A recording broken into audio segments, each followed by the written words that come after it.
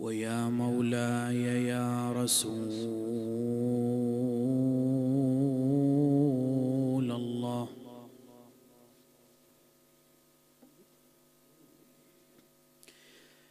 صلى الله عليك وعلى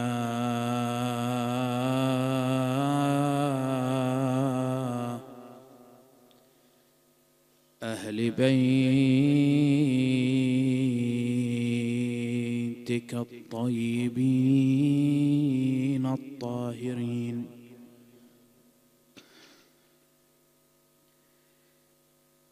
ما خاب والله من تمسك بكم آمين. والله من لجأ والتجأ إليكم. سادتي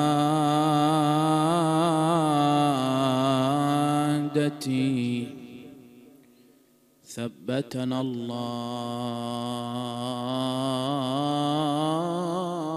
على ولايتكم.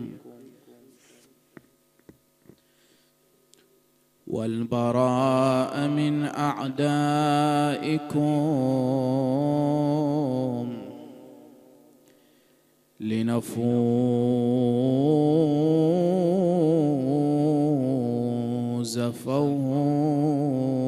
فوزا عظيما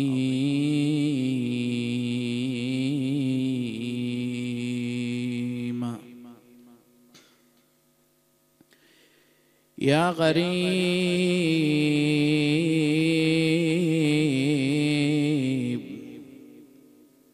يا مظلوم كربلاء.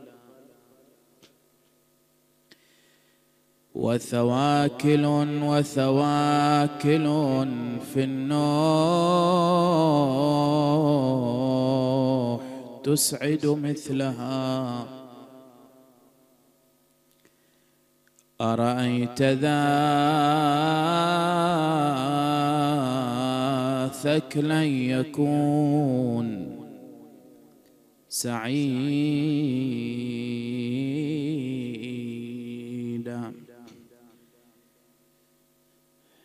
الإنسان الثاكل ما يكون سعيد.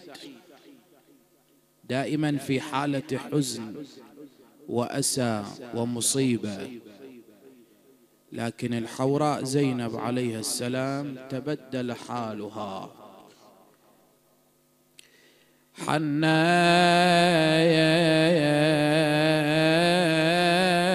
فلم تر مثلهن نوائحا. إذ ليس مثل فقيدهن.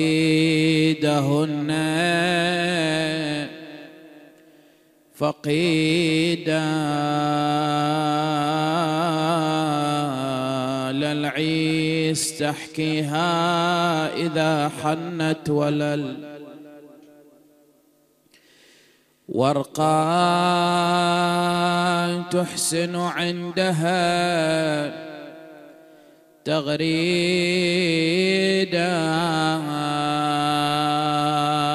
إن تنعى أعطت كل قلب حسرة. أو تدعو صدعت الجبال الميدا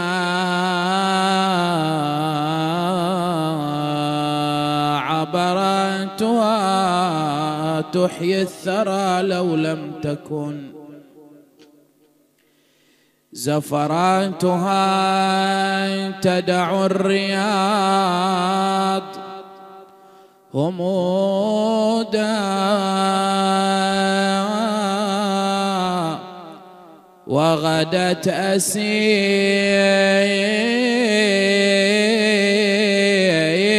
خدرها ابنة فاطمين. لم تلق غير أسيرها المصفودة.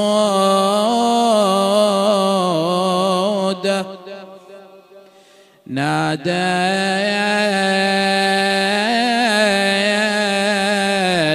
فقطعت القلوب بصوتها. لكن لما التظم البيان فريد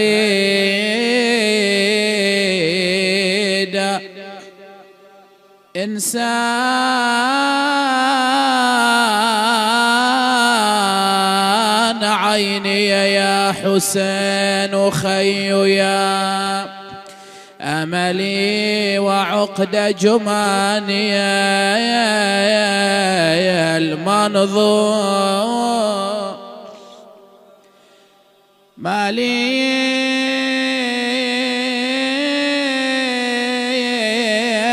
دعوتك لا تجيب.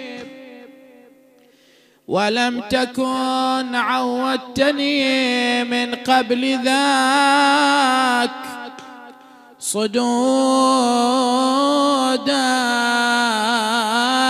لمحنة شغلتك عنا يا أبا عبد الله؟ أم قلن حاشاك إنك ما برحت ودودا سور الحرم يا حسين لا تجذب الونا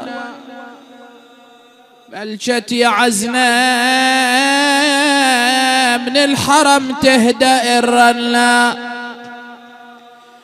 أنا ودي أوصل مصرعك وانجدل. وياك لكن إيش بيدي لازم ذيالي يتاماك لو يقدر السجاد ينهض كان. جيناك خدك نوسده وبالدمع نغسل الطبرة. ندري الغربة الضعضع عزوم الرجاجيل. واني وحيدة وعايلة ومجبل علي ليل. خوفي ضعنا من الصبح من كربلا يشي وتظل عارب هالفلا وإحنا ضعيفة. قالها بلا تجهيز. لازم يتركوني. وباكر تمر بيا ضعينة وتنظروا. وانتي وخواتي كان ردتوا توصلوني مجبل عليك الليل جيب الفاطميه وخي زينب إن كان يمي تقدري تجي لا باس وتوصلين المشرعة يا مجسد عبا. طلعوا بسواد الليل. زينب لا تطلعي في ضوء النهار. طلعوا بسواد الليل. يستركم عن الناس. ولزم الصبر يا عزيزة الزهرة الأمر فات. الأمر لله. لا حول ولا قوة ولا منعة ولا عصمة إلا بالله العلي العظيم. إنا لله وإنا إليه راجعون. بالله اعتصمت وبالله أثق وعلى الله أتوكل. أعوذ بالله من الشيطان الرجيم. بسم الله الرحمن الرحيم.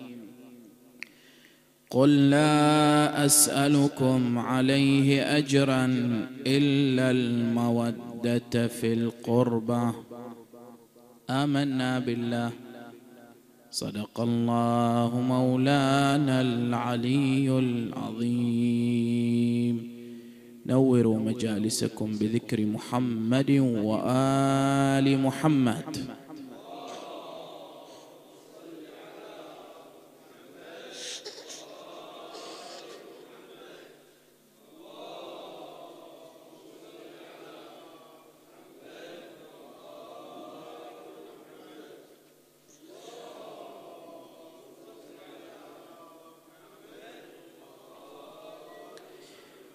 الآية الكريمة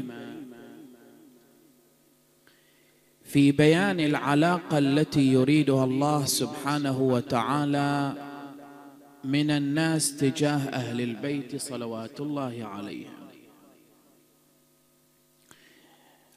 وهذه العلاقة التي يريدها الله جل وعلا من الناس تجاه أهل البيت هي علاقة تحت معيار علاقة المودة.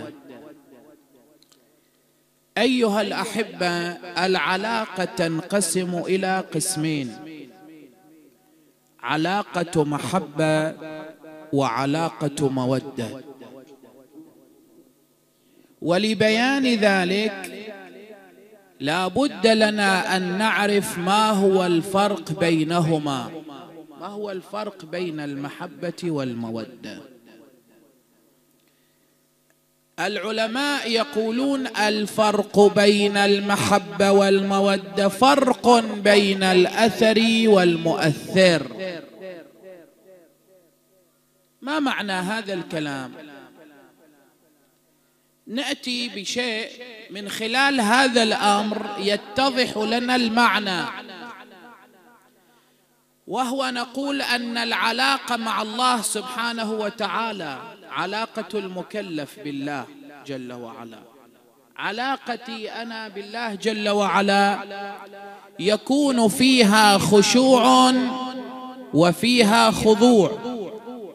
والبعض يتصور أن الخشوع هو نفس الخضوع ولكن من خلال الأحداث التي جرت في عهد أهل البيت عليهم السلام وفي طليعتهم مولانا أمير المؤمنين صلوات الله عليه.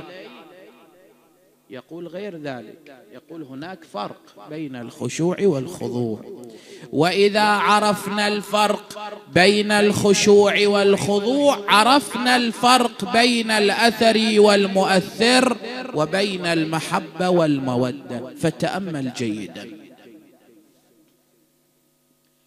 المولى أمير المؤمنين صلوات الله وسلامه عليه علي عليه السلام.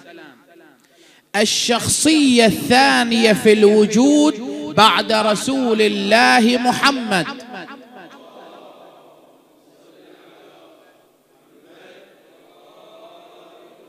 ولا يمكن لأحد أن ينكر هذا الفضل لأمير المؤمنين صلوات الله عليه.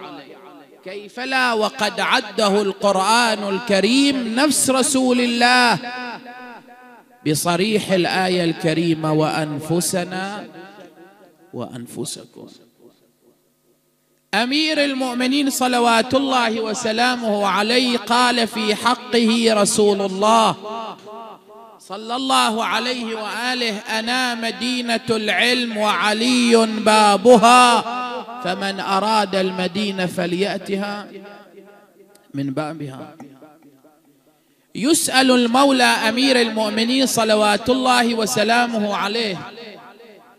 يقولون له يا أبا الحسن أيهما أحب إليك؟ جلوسك في الجنة أم جلوسك في المسجد? لما يعرض علي السؤال أنا كإنسان قاصر حتما راح أختار ماذا؟ والجنة فيها ما لا عين رأت ولا أذن سمعت ولم يخطر على قلب بشر أبدا ولا فيها تعب ولا هم يحزنون. فحتما راح أختار ماذا؟ أقدم الجنة على المسجد.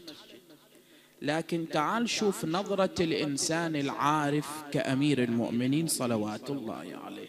كيف يفلسفها علي بن أبي طالب عليه السلام. يقول أما جلوسي في المسجد فيه رضا ربي وأما جلوسي في الجنة فيه رضا نفسي وأنا أقدم رضا الله على رضا نفسي. هذا أمير المؤمنين صلوات الله وسلامه عليه. يعني يعني إذا دخل علي عليه السلام إلى المسجد ليس كدخولي أنا سرعان ما أخرج. بل إذا دخل إلى المسجد أمير المؤمنين انشغل عن الدنيا وزهوتها وشهوتها. واشتغل بالأعمال الآخرة. مثلا التعقيب. النوافل وغيرها فإذا انتهى أمير المؤمنين صلوات الله وسلامه عليه من عبادته جلس مع أصحابه يتحدث إليهم وأخذوا ينهلون من نمير معارفه صلوات الله عليه. كيف لا؟ وهو يقول علمني رسول الله من العلم ألف باب يفتح لي من كل باب ألف باب. يوم من الأيام أمير المؤمنين صلوات الله وسلامه عليه جالس مع أصحابه يتحدث. في المسجد. إذ دخل رجل إلى المسجد وقف للصلاة. فأحرم إليها فمجرد أن أحرم إلى الصلاة إلى أن انتهى منها كان يعبث في لحيته. طبيعي خو هذا الشيطان رجيم متى يجي للإنسان خو ما يجي له واقف هو أمام الصراف الآلي يخلي البطاقة وتطلع عليه الأموال. ليش؟ هو ما يقدر يسوي شبه الأموال ديانة من جهة الأقساط من جهة الأولاد الزوجة من جهة. ويجي الشيطان إلى الإنسان إذا وقف بين يدي الله جل وعلا. عندما يقف هذا الإنسان إلى الله سبحانه وتعالى يأتي إليه الشيطان فيوسوس له. وهذا خطر على الإنسان. لذلك ينبغي على الإنسان أن يتعوذ من الشيطان في كل لحظة ولا سيما في وقت الصلاة وفي ادائها لأن بقبول الصلاة متوقف على قبول باقي الأعمال كما ورد عن الرسول الأعظم محمد.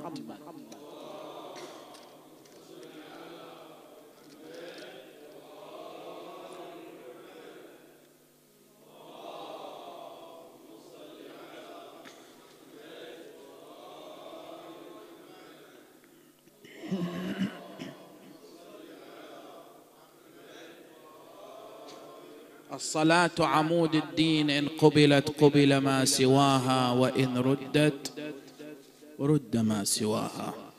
ولذلك هنا يجي القرآن الكريم يشير إلى هذا المعنى وهو أكبر خطر على الإنسان. بسم الله الرحمن الرحيم. وقدمنا إلى ما عملوا من عمل فجعلناه هباء منثورا.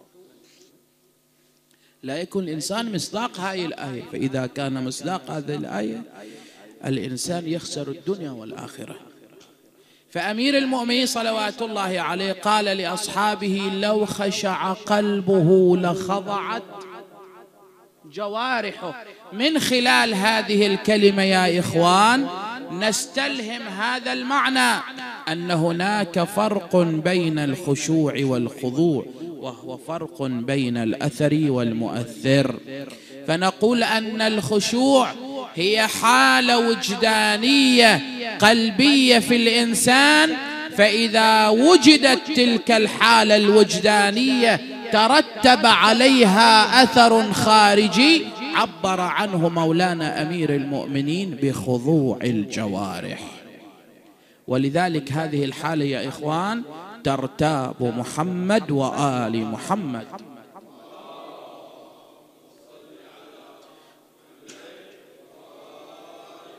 فتجد أهل البيت عليهم السلام إذا دخل وقت الصلاة تتغير ألوانهم ترتعد فرائصهم. يقولون للإمام زين العابدين يا ابن رسول الله أنت إمام معصوم مفترض الطاعة بين هلالين هذه خليها عندك.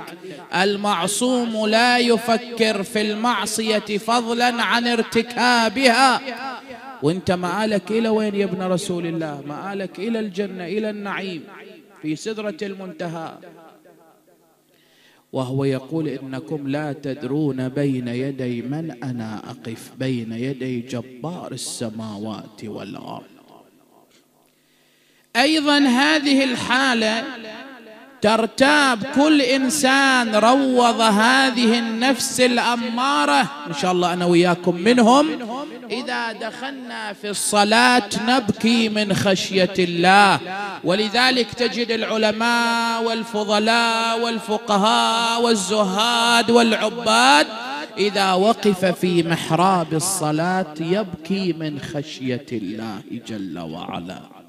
هذا ناتج عن ماذا يا إخوان؟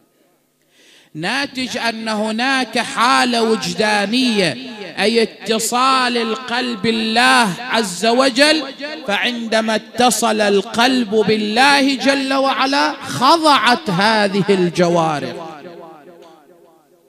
اذا نقول أيضا هذه العلاقة التي يريدها الله سبحانه وتعالى هي تارة يكون علاقة تحت معيار محبة وهي الحالة الوجدانية.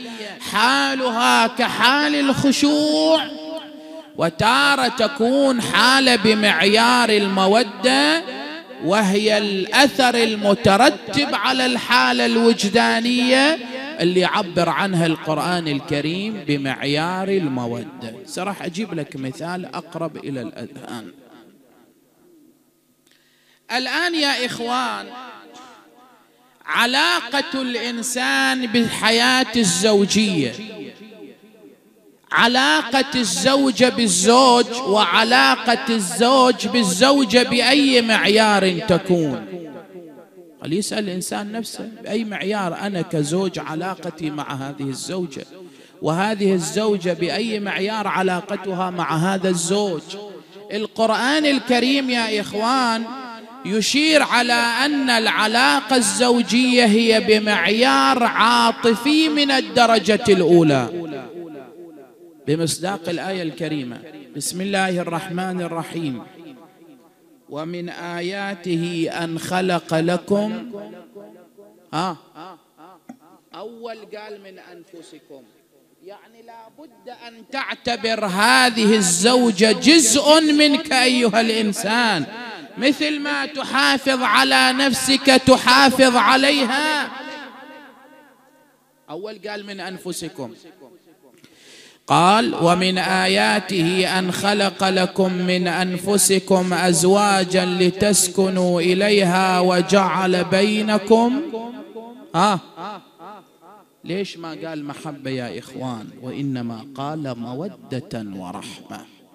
ليش ما قال محبة؟ قال مودة.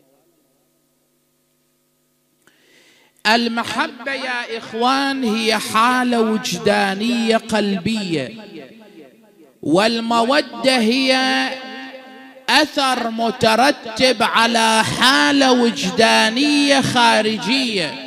يعني بمعنى أبسط من هذا الكلام الآن لو إجي فرد من الناس زوج من الأزواج يقول لزوجته إني أحبك يا ابنة العم.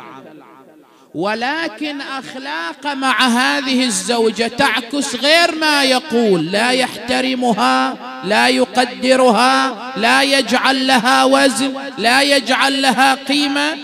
نقول بئس تلك الحياة التي تعيشها أنت والزوجه بهذا المعيار وبهذا المنظور. وليست هي العلاقة التي يريدها الله تبارك وتعالى التي المفروض أن تكون بينكما. كذلك الزوجه إذا قالت لزوجها إني أحبك يا ابن العم وهي أخلاقها تعكس غير ما تقول تسقط موقعية الزوج لا تحترم الزوج لا تقدره تسقط موقعية داخل البيت. إذا بين قوسين تصبح هذه الزوجة زوجة ناشز والزوجة الناشز أشار القرآن الكريم إلى كيفية التعامل معها.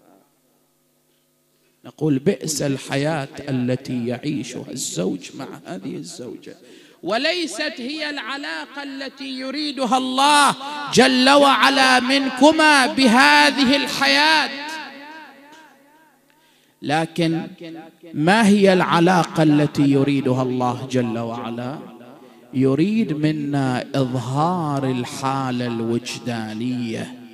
يعني إظهار الحب والعشق في الحياة الزوجية من خلال الاحترام من خلال التقدير من خلال أنك تظهر هذه المحبة من قلبك عن طريق أخلاقك وتعاملك مع هذه الزوجة.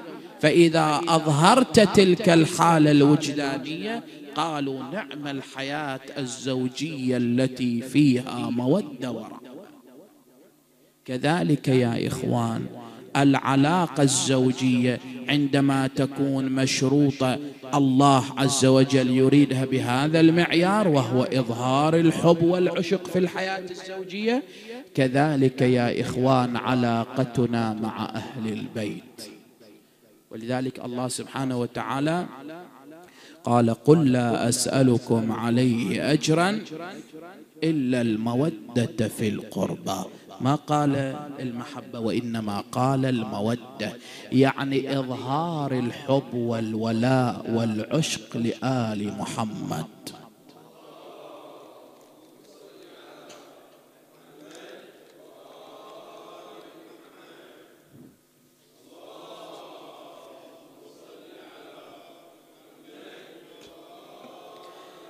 ثالثة بأعلى منها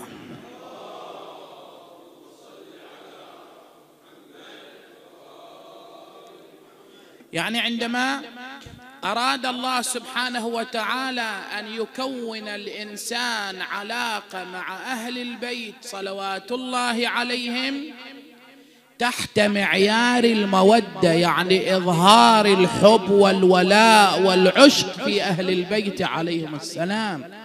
من خلال السير على خطهم وعلى نهجهم تتحلى بأخلاقهم تتبرأ من أعدائهم تتمسك بحبل ولايتهم. فإذا كون الإنسان هذه العلاقة مع أهل البيت وعاش ضمن هذا الإطار قيل في حقه نعم الإنسان الذي ود أهل البيت عليهم السلام. وخير مصداق من مصاديق مودة أهل البيت عليهم السلام من عشنا ذكراها خلال الأيام الماضية وهي فاطمة بنت حزام الكلابية. هذه المرأة الجليلة العظيمة الكبيرة في عطائها وإن لم يصلنا من التاريخ عنها بشيء إلا كلمات معدودة قليلة من ناحية العدد كبيرة من ناحية المحتوى والمعنى ولكن يمكن لنا أن نستلهم من كل كلمة في سيرة أم البنين رضوان الله عليها. بالمعنى الأعم دروس وعبر تسطره لنا هذه المرأة. فمثلا نأخذ على سبيل المثال درس واحد لضيق المقام. وهو كيف كانت تتعامل هذه المرأة مع زوجها أمير المؤمنين صلوات الله وسلامه عليه؟ علي. صلوات الله وسلامه عليه كيف كانت تتعامل معه هذه المرأة؟ النساء إذا اردن أن يحسن التبعل إلى الزوج فليقرأوا سيرة أم البنين صلوات الله وسلامه عليها. على شرف العلم والعلماء صلوا على محمد وآل محمد. تفضلوا سماحة الشيخ تفضل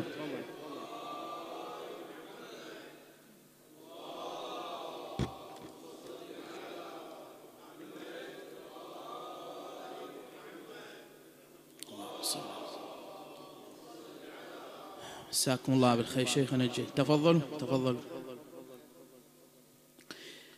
فمثلا كيف كانت تتعامل هذه الزوجة مع أمير المؤمنين؟ بعض النساء للأسف الشديد إذا زوج زوج إلى موقعية في المجتمع سواء كان عالما فقيها أستاذا طبيبا بعض النساء للأسف الشديد إن شاء الله هذا بعيد عن مجتمعنا. بعض النساء للأسف الشديد عندما يكون زوجها له موقعية خارج البيت أي في المجتمع قل له شوف أنت إلك مكانه في المجتمع خارج البيت ومنزلة رفيعة خارج البيت لكن داخل البيت حالك حال الأزواج. ولذلك عندما تكون هذه الزوجة تعيش مع هذا الزوج ضمن هذا الإطار عند ذلك تسقط موقعية الزوج داخل البيت. فيصبح هذا الزوج وإن كان له موقعية فيصبح هذا الزوج اللي له مقام رفيع في المجتمع داخل بيته ما إلى وزن. وهذا من أكبر الأخطاء اللي نعاصرها إحنا. لكن تعال شوف الدرس اللي تسطره لنا أم البنين رضوان الله عليها. كانت تتعامل مع أمير المؤمنين صلوات الله وسلامه عليه ليس كزوج فحسب وإنما كانت تتعامل مع أمير المؤمنين بأنه سيدا لها ومولى لها قبل أن يكون زوجا فكانت تحترم أمير المؤمنين تقدره تجعل له مكانه داخل البيت. وعلى وعلى ذلك يا إخوان. أنها نذرت نفسها على أن تكون خادمة في بيت أمير المؤمنين صلوات الله وسلامه عليه. وعلى وعلى ذلك. بأنها بذلت نفسها وروضت أبناءها وهذبت أولادها بأن يكونوا خداما لأولاد الزهراء صلوات الله عليهم. أجل ليش الله خلاها باب من أبواب رحمته؟ بشكل اعتباط لا. جعلها الله بابا من أبواب رحمته الواسعة. ما قصدها مؤمن في حاجة ورجع قايل مو هالشكل اعتباط لا بعملها بجهادها بالأعمال التي قامت بها. ولذلك جعلت أولادها أن يكونوا خداما لأولاد الزهراء عليها السلام. وهي تقول لولدها قمر العشيرة. كل ولد عباس إذا أردت أن تنادي الحسين قل له سيدي ومولاي يا ابن رسول الله. هذا إن دل على شيء إنما يدل على أن أم البنين رضوان الله عليها كانت تجعل للحسن والحسين منزلة فضلا عن منزلة أمير المؤمنين صلوات الله. إذا كان الحسن والحسين بهذه المنزلة فأمير المؤمنين يكون أكبر وأكبر وأعظم من هذه المنزلة. ولذلك كانت تقول ولد عباس إذا أردت أن تنادي الحسين قل له سيدي ومولاي.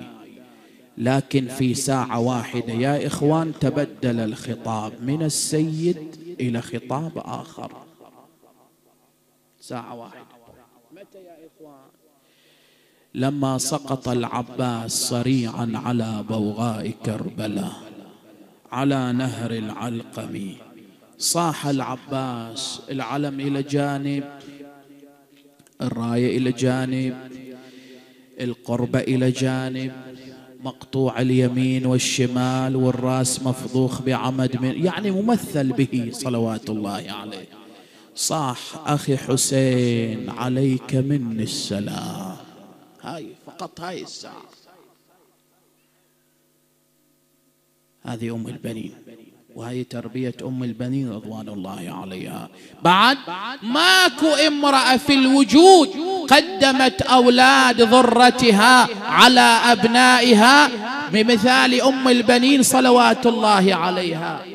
ولذلك الناعي يقول الهم البنين راحت الأولاد. الأولاد راحوا. عبد الله وقتل وجعفر وقتل عثمان وقتل قالت الخلف والعوض براس الحسين. الحسين سالم لولا قال لها يا أم البنين عظم الله لك الأج في ولدك العباس فقد قطعت يمينه وشماله. قالت يا هذا قطعت نياط قلبي أخبرني عن نور عين الحسين. هل هو سالم لو لا؟ قال يا أم البنين عظم الله لك الأجر في الحسين. فقد ذبح كما تذبح الشاة من القفا. وهو على مقربه من نهر العلقم وهو ينادي وحق جدي أنا عطشان. صاحت وولداه وحسينا يا ويل من الوالدة من الوالدة والقلب لفان يلا يلا تستاهل أم البنين هاي العبرة منك وهاي التجاوب وماجور إن شاء الله. والله من الوالدة من الوالدة والقلب لهفايان وأدور عزبني وين ما كان. واسفة واسفة على ابن المات عطشان ولعبت عليه الخيل ميدان. إي والله ولعبت عليه الخيل.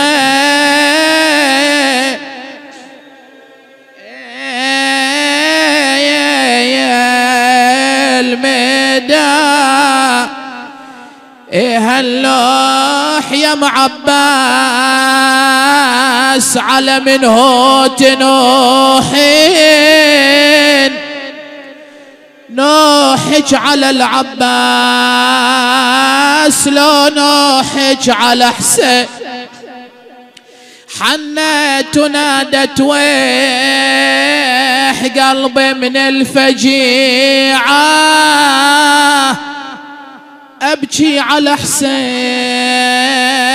وأبكي على رضيعة وأبكي على العباس طايح بالشريعة. وأعظم علي أهل نعال لاعي على حسين. وانت حال قلبي من مصاب الغاضرية. جاني الخبر عنها ترى ذيك الرزية. يقولون ظل حسين مرمي على الوطية. شيبت راسي يا خلايق ذبحة حسين جانه بشر ينعى ودمع العين بادي. وقلت خبرني عن عزيز أحمد الها. عزاني بعباس وعزاني بولادي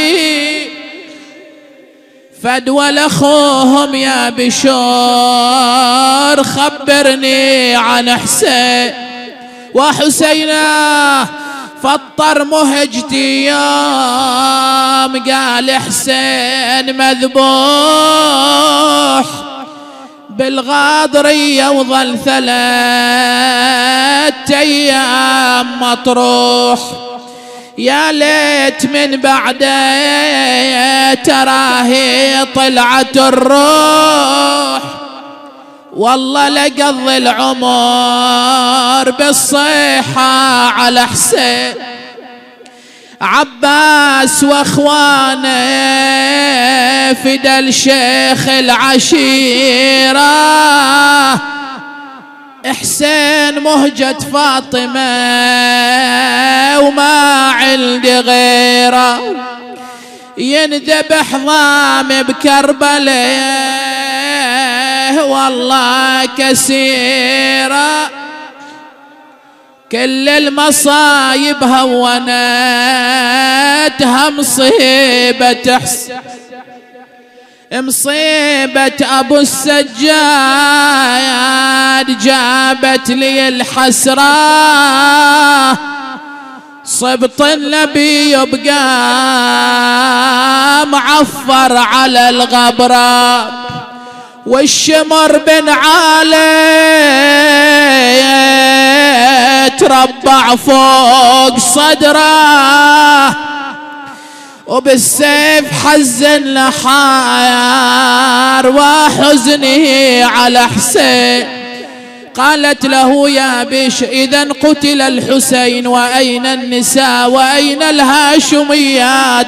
وأين فخر المخدرات؟ زينب وإذا بالصرخ على باب المدينة مدينة جدنا لا تقبلينا فبالحسرات والأحزان جينا خرجنا منك بالأهلين جمعان رجعنا لا رجال ولا بنينا. زينب لما لاح لها قبر أمها الزهراء نادت تعالي تعالي يا محسن يا يمه تعالي. وشوف كربلاء سوت بحالي أشوف إخوتي مجزرة قبالي. أني توني ذكريت عزي ودلالي. أحم الضائعات. تقبل منا الأعمال أصلح لنا في الدارين الأحوال. بسم الله الرحمن الرحيم. سماحة الشيخ تفضلوا بالدعاء. بسم الله الرحمن الرحيم. أما يجيب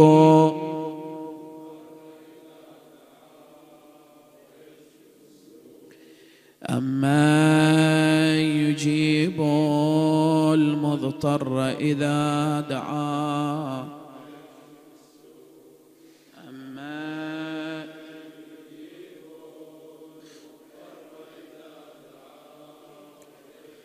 اللهم اكشف السوء والبلوى عنا وعن جميع المؤمنين والمؤمنات في مشارق الأرض ومغاربها.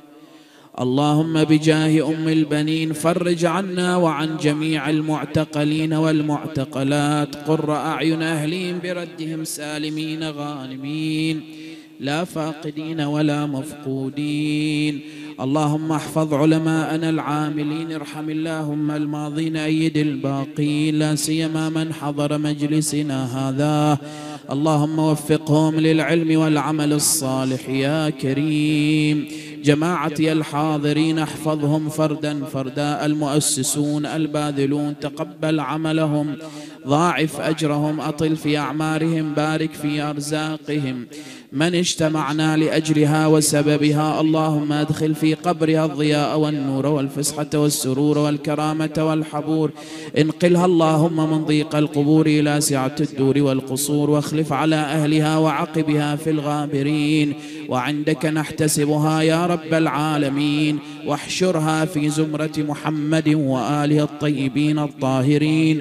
وإلى روحها وأرواح موتى المؤمنين والمؤمنات. بلغ اللهم الجميع ثواب الفاتحة مع الصلوات.